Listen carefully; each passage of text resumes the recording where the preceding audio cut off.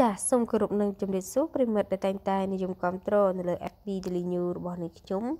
ថ្ងៃនេះផងដែរសូមលើកយកព័ត៌មានកំសាន្តប្លែកៗមកចែកជូនប្រិមិត្តទស្សនាដែលតាក់ទងទៅនឹង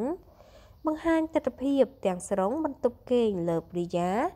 ធំស្អាតខ្លាំងរៀបចំឡើងសុទ្ធតែពណ៌មាសរបស់ថ្លៃថ្លៃពេញបន្ទប់ភ្នំពេញទោះបីជាមិនមែនជាតារាល្បីយ៉ាងណាក្តី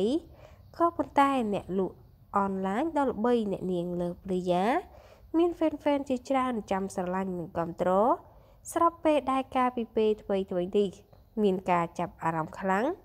ក្រោយបញ្ហាសង្គ្រាមគ្រួសាររបស់នាងធ្វើឲ្យការផ្ទុះឡើងពីបណ្ដាញសង្គម Facebook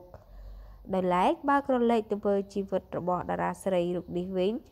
ត្រូវបានគេចាប់អារម្មណ៍ថានាងពិតជាមិនត្រឹមតែល្បីនោះទេ តែនាងក៏មានទ្រព្យសម្បត្តិស្រុកស្ដំក្រោយ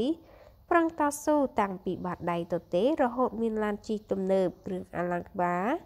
ពាក់ជ្រែកខ្លួនរីឯត្រនំក៏ធប់ជាក់ស្ដែង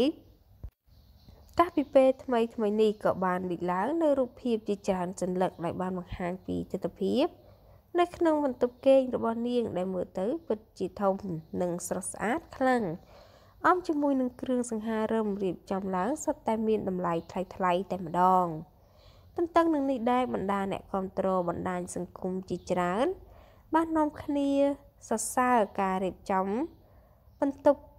របស់នាងដែលធ្វើឡើងពណ៌មាសយ៉ាងចាំងភ្នែកខណៈពេលដែលនាងឡាយនៅក្នុងបន្ទប់រាល់ដងមិនឃើញពេញភ្នែកបែបនេះ ចាស់ប្រិមិត្តនឹងហៅថាលើព្រិយាគឺជាតារាលោកលេ មួយរូបធ្វើបើមិនមែនជាតារាសិល្បៈក៏ប៉ុន្តែប្រជាប្រិយភាពនាងគឺនៅតែមានដោយសារតែចាស់នាងពេល live ម្ដងម្ដងគឺពូកែនិយាយកំ pl ុកកំ pl ែងហើយតាក់ទាញអ្នកចូលមើលច្រើនចាចូល K តែម្ដងមិនត្រឹមតែប៉ុណ្ណោះអ្នកនាងក៏មានការចាផ្ទុះរឿងរ៉ាវដែល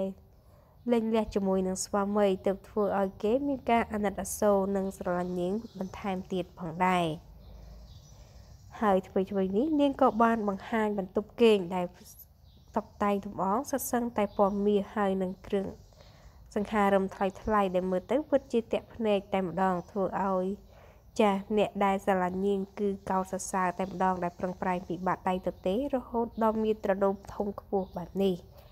តកតងទៅនឹងព័ត៌មាននេះក៏បានបញ្ចប់ទៅហើយដែរអរគុណប្រិមត្តដែលតែងតែនិយមគ្រប់គ្រងនៅលើ FB Daily News របស់នេះខ្ញុំ